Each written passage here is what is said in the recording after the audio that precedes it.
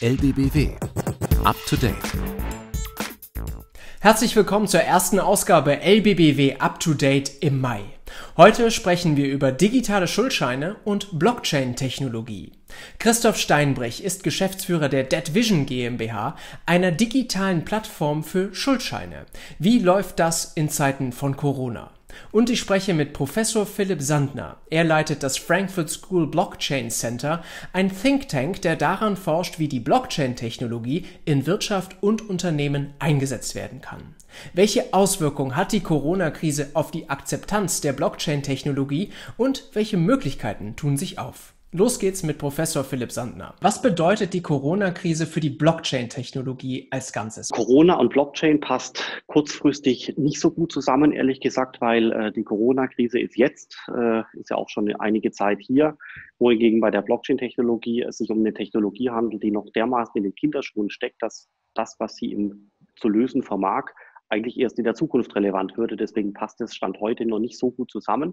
Allerdings gibt es perspektivisch schon sehr spannende Anwendungsmöglichkeiten, wie zum Beispiel Identitäten auf Blockchain-Basis, Immunitätszertifikate auf Blockchain-Basis, überhaupt Gesundheitsdaten auf Blockchain-Basis, das Thema Datenspeicherung, also auch äh, Geolocation und ähnliches könnte man perfekt äh, zusammenführen. Allerdings ist die Krise eben, wie gesagt, heute und die Blockchain-Anwendungen werden erst übermorgen adressiert werden. Bietet denn die Blockchain zum Beispiel bei der sogenannten Corona-App eine Lösungsmöglichkeit? Bei der Corona-App handelt es sich ja um eine App auf dem Smartphone, die in der Lage sein soll, uns zu Informationen zu geben, ob wir mit infizierten Leuten gesprochen äh, haben und so weiter. Das alles soll anonymisiert passieren. Äh, der Staat hat ja zunächst mal gesagt, er hätte gerne eine zentrale Lösung. Inzwischen weiß man, dass eigentlich eine dezentrale Lösung besser wäre. Das ist perfekt für die Blockchain-Technologie. Das Problem ist aber eben einfach so, dass die Entscheidungsträger sowohl beim Staat, also Auftraggeber, wie auch bei den Konzernen oder Firmen, die das umsetzen, also Auftragnehmer, die Entscheidungsträger typischerweise mit all ihren Beratern, Stäben und Abteilungen noch zu wenig über die Blockchain-Technologie wissen, als dass sie die tatsächlich jetzt einsetzen würden. Da passt die Zeitschiene nicht zueinander. Für den Laien, worin liegt denn überhaupt das revolutionäre Potenzial der Blockchain-Technologie? Es handelt sich eigentlich um so eine Art Registertechnologie und alles, was Sie in einem Register abspeichern können, sind grundsätzlich mal Blockchain-Kandidaten, die dort überführt werden können. Äh, zum Beispiel ist der Geldschein registriert mit der Nummer. Damit kann der kann Geld, also der Euro, in einem Blockchain-System verwaltet werden. Gleiches gilt für das Grundbuch, das Aktienbuch, äh, das Kfz-Register, das Meldewesen, also den Personalausweis mit seiner Nummer. Das sind alles äh, Dinge, die in Registern organisiert werden und das sind deswegen interessante Kandidaten, die potenziell auf einem Blockchain-System abgebildet werden könnten in Zukunft. Welche Chancen birgt denn die Blockchain-Technologie für die Wirtschaft und insbesondere auch für die Finanzwirtschaft? Das spannendste Element in der Blockchain-Technologie ist eigentlich der digitale programmierbare Euro. Äh, das bedeutet, ich lasse den Euro auf einem Blockchain-System notieren und äh, kann dann zum Beispiel grenzüberschreitende Zahlungen relativ effizient geschehen lassen. Also von hier nach Argentinien in ein paar Sekunden, von Argentinien nach Tokio in ein paar Sekunden und wieder zurück nach Deutschland. Das kann momentan keine andere Technologie, also quasi grenzüberschreitende Zahlungen durch zig Länder innerhalb von ein paar Sekunden.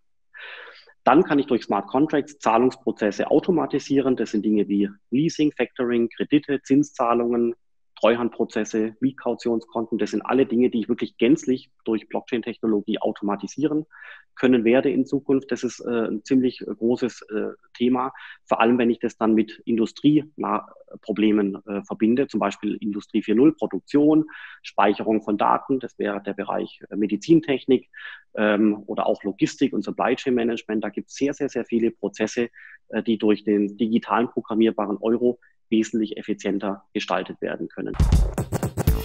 Jetzt spreche ich mit Christoph Steinbrich, Geschäftsführer der Dead Vision GmbH.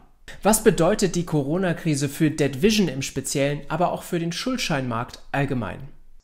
Gut, insgesamt muss man natürlich sagen, äh, für alle Beteiligten haben wir jetzt natürlich ein temporäres Ausbleiben neuer Transaktionen zu verzeichnen. Für die Darlehensnehmer, dass einfach neue Angebote in den Markt kommen, die brauchen eine hinreichende Transaktionssicherheit.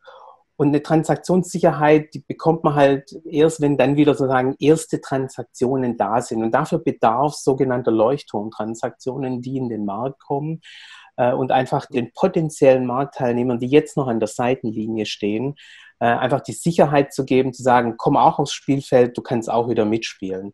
Und da bin ich mir sicher, äh, oder das sehen wir auch jetzt, dass wir im zweiten Quartal da erste bedeutsame Transaktionen wieder am Markt sehen werden. Welche Vorteile bietet eine digitale Plattform wie Dead Vision im Schuldscheingeschäft im Gegensatz zum analogen Arbeiten? Ein digitaler Marktplatz äh, bringt auf jeden Fall ein höheres Maß an Transparenz und Effizienz für die Teilnehmer.